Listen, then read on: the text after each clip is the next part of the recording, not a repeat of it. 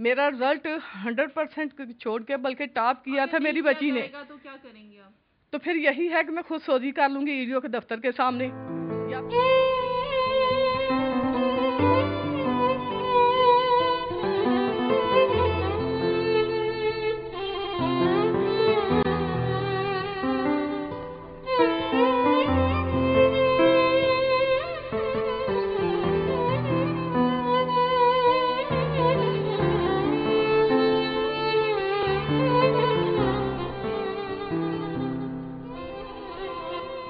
अलामा Iqbal town, Hunza block के पाँच मरले के छोटे से घर में रहाइश पजीर बेवा खातून सफूरा चौधरी रिटायरमेंट के बाद अपनी एक बेटी के साथ ज़िंदगी के दिन गुजार रही है। सफूरा चौधरी के मुताबिक महकमा तालीम की तरफ़ से उसकी उन्नीस सौ निन्यानवे से दो हज़ार तक की तनख्वाह वाजिबुल अदा है। वो मुतलका हुकाम के दफातर के चक्कर लगा लगा कर थक चुकी है। लेकिन कोई भी मुट्ठी गर्म किए बगैर उसकी बात सुनने को तैयार नहीं। सफूरा चौधरी ने कहा कि वो इस काबिल नहीं कि अपने जायज़ काम के लिए रिश्वत की रकम दे सके। सफूरा चौधरी ने बताया कि वो अपनी इद्दत के दिनों में भी अपने हक के हसूल के लिए महकमा तालीम के चक्कर लगाती रही, लेकिन किसी ने उस पर तर्ज नहीं खाया। सफूरा चौधरी ने इल्ज़ाम आयद किया कि असिस्टेंट डायरेक्टर एडमिन मियाँ मंशा और तारिक बाजवा उसके काम में रोड़े अटका रहे हैं। एडजस्टमेंट है। ये मैं दो हज़ार एक से एप्लीकेशनें दे दे के था कभी फाइलें घुमा देते हैं, कभी पैसे मांगते हैं।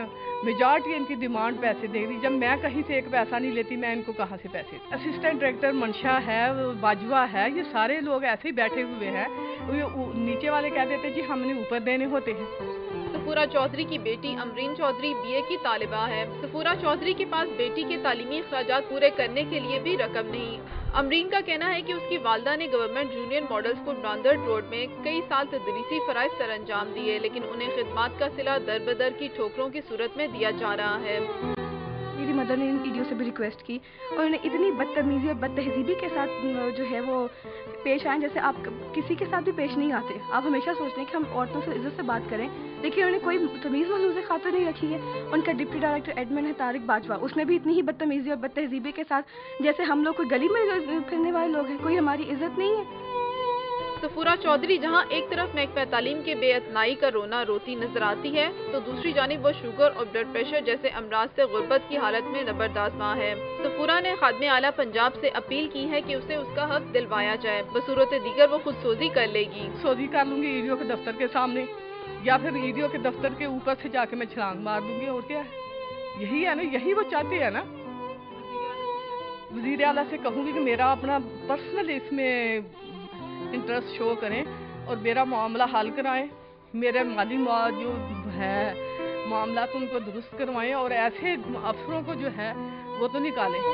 तमाम ज़िंदगी कौम की बच्चियों को तालीम के जेवर से आरास्ता करने वाली सफूरा आज गुर्बत के बायस अपनी ही इकलौती बेटी को तालीम दिलवाने में मुश्किल का शिकार है।